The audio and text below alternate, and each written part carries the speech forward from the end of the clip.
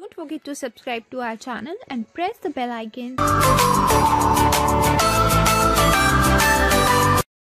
Nick Jonas and Priyanka Chopra's wedding preparations are going on in full swing, and along with family members, both have reached the Blue City Jodhpur. Soon after PC and Nick made a grand entry at Jodhpur, we spotted Madhu Chopra, Parineeti Chopra, and brothers of Nick Jonas reaching Jodhpur. Well, the wedding festivities have already started. The wedding destination is a luxurious palace which is also the home to royal family members. The palace and museum have been closed for public until December 3rd. The palace have been lit up ahead of couple's wedding.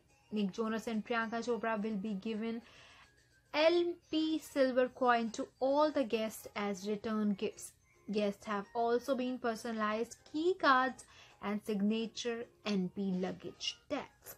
Due to no mobile phone policy, the guests have to sign a confidentially agreement. We have not been treated the inside photographs of wedding ceremony. But hang on, because we got a glimpse of the welcome goodies for the guests, and they are nothing less than gorgeous, wrapped in all white with the initials of NP and Priyanka and Nick written all across. We love how the bride and groom have given a personal touch to the goodies. Have a look.